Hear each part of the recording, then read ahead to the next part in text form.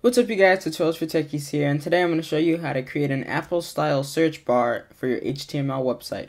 Okay, so the first thing I'm going to do is I'm just going to show you the, um, the actual search bar on, on Apple's uh, website. So if you go to apple.com, you can see in the top right hand corner, uh, this is their search bar. And um, as you can see, that uh, this is basically how it looks, and if you click it, then it extends. And it's, it's very simple, but it's also very nice. So we're gonna create the same style of uh, we're gonna create the same style of search bar in for our, for our HTML document or website. Okay, so the first thing you want to do is create a new um, HTML uh, basically document. And I already have the document set up, and if you want to learn how to set it up, just click this link right here. I'm not going to go over it in this video because I already went over it in a different video, so again, just, you know, click this link right here and I'll be sure to include all links in the description below. Okay, so now I'm just going to go over basically the tags I already have set up. So the first tag is going to be the HTML tag, letting the computer know that uh, this is an HTML document.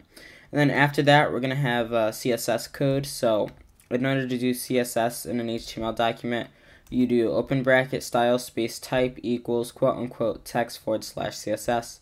Then you end the tag, and now this is where we're going to um, this is basically where we're going to have our, uh, whoops, this is where we're going to have our actual search bar. This right here, the div class equal search, that's where we're actually going to have our search bar um, code so that the search bar is, the search bar is visible.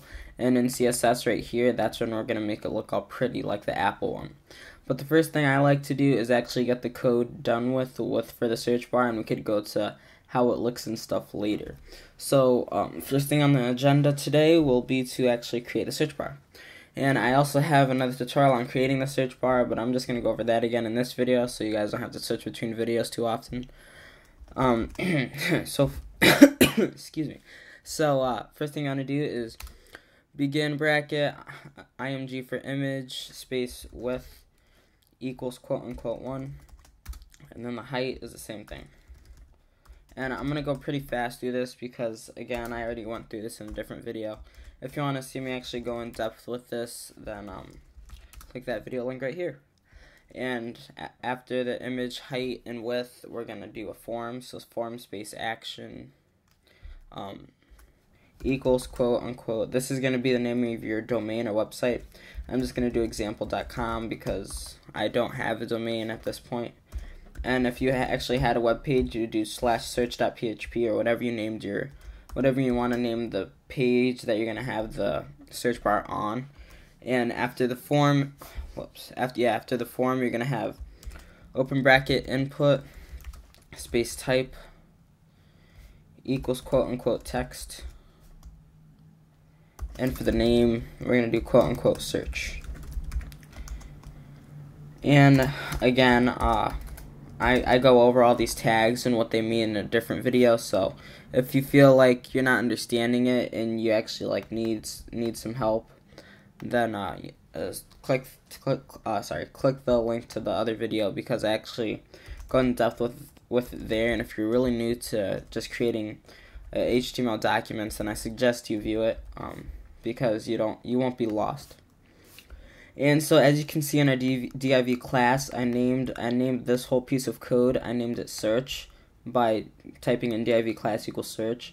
And by giving that part of the code a name, I can go sorry, excuse me. I can go into the CSS and use that name to edit to edit the piece of code, the line of code. So let's say I wanna um I wanna use that name in the CSS, I would just type in period search space, uh, whatever, uh, bracket, yeah. And then for the width, this will be the actual width of the search bar. We're going to do colon 300 px for pixels, obviously. And then colon, or semicolon, sorry. And then for the margin, um, I, my margin is off because I, am going to have the search bar be in the middle of the page so that it's easier for you guys to view. Um, but, uh, again, you know, well, not again, but obviously if within, with different, uh, web pages and such, your margin is going to be different. So keep that in mind as we're doing this. Uh, this is just my margin, so if you want to use it, that's fine. And what the auto means is that the computer will automatically align the margin to uh, to the specific web page. And then for next, we're going to do text uh, dash line, and that's going to be left for when people type in the search bar. You want it to be the specific. Uh, you want it to if you want it to be centered left or right, or if you guys would be right or left or whatever. If you want it to be centered left or right, that's what you would do for text line. But before we do that, um, I like to do this at the beginning of the code, but you don't have to because code isn't read in a specific order. It's just basically how you put it. Um, before that, I'm going to put this as header, comma space section, comma space footer, comma aside, nav for navigation, article, figure. If you don't know what I'm talking about right now, I'm going to go over in just a couple seconds. So just type what I'm typing and I'll go over what all this is actually for. Tab, display, uh, colon, space, block, semicolon, and bracket. So what this whole piece of code right here does is it, um, excuse me, what this whole piece of code right here does is it actually takes all the specific um, things on your web page. I, I don't like using the word things, but things would include your header, your section, your footer, your aside, your navigation, all that stuff. Um, for the display, I want mine to be a block. So when you're creating a web page, uh, when you actually get like get into the line code, you're gonna notice when you um, create your web page, sometimes it may be clustered and not together or uniform. By doing your display equals uh, display is block, it's gonna make everything just align and uh, basically in a really nice order like a block. so um, that's not that important since I'm just creating a search bar, but I thought you guys would just like to know that. and after this period search, we're going to create a hover effect. And for the hover effect, what we're going to do is type in period search colon hover. Whoops, if I could spell it right.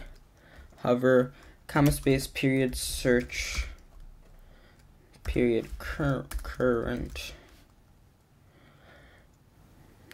and whoops sorry I would I didn't mean to uh, use this right here make sure that's a colon and then we're gonna do space uh, begin bracket and now for the width we're gonna do colon space 300 pixels.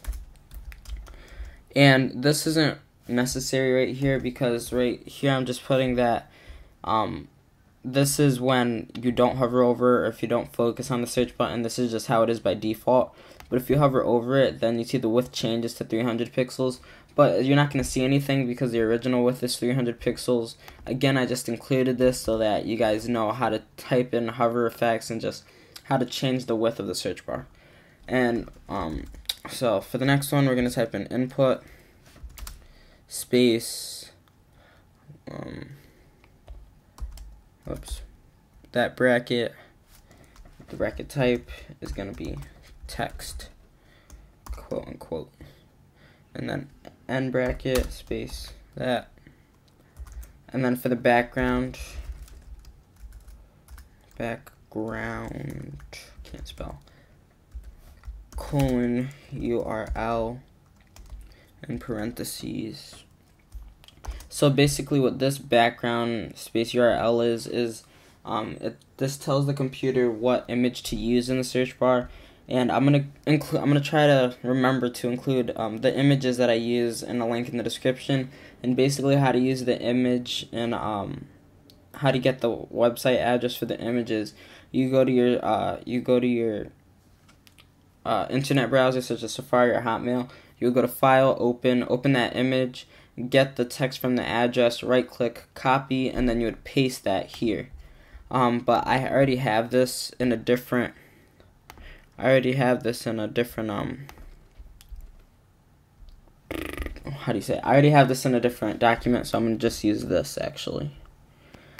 And so you can um, just, I'll just download it and again, uh, just do what I said. And so that's going to be my background URL. And now I just close it. And it's going to be space no repeat so that the computer doesn't repeat it. and then this is going to tell tell the computer how big the image should be. It's going to be 8 pixels uh, by 3 pixels, and then uh, the color number three four for four. Sorry, and then semicolon, and after that the border is going to be uh, zero for none. Oops, none. Uh, semicolon, enter, and this is the font of the uh, of the words inside of the search bar. And I'm just gonna have it be bold at 11 pixels. If you want the font to be bigger, just change the pixels.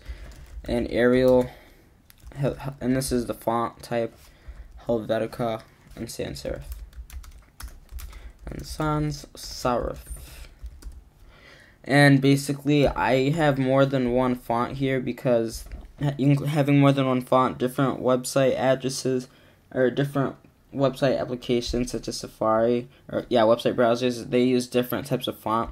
So one one um one website ad uh, one website application may use like different fonts than others. One may read Arial and one may not, so that's why it's good to include more than one or you know just a couple, so that if people are accessing accessing it, sorry, from different things such as Google Chrome or something, that the font actually works in that internet browser. And now for the color, it's gonna be seven seven seven, and then colon width is gonna be one. Whoops, colon width is going to be 150 px for pixels. And now the height's going to be 22 px for pixels. And now this is padding, and what the padding does is it creates just a little room around the search bar of of basically just background image, and this is used a lot if you want to make make it look better. And uh, I already have mine to specific to a specific uh, orientation, so it may be different for you guys, but uh, just type in what I'm typing and you can always change it later. 16px and 35px. And there's actually a code to how you're doing these different numbers. Like one is for like, I'm pretty sure this one's for top, bottom, left, right, or something like that. Don't don't think it's that. I'm, I just believe that the first number's top, uh, that one's bottom, and then left and right. But I'm not really sure on that.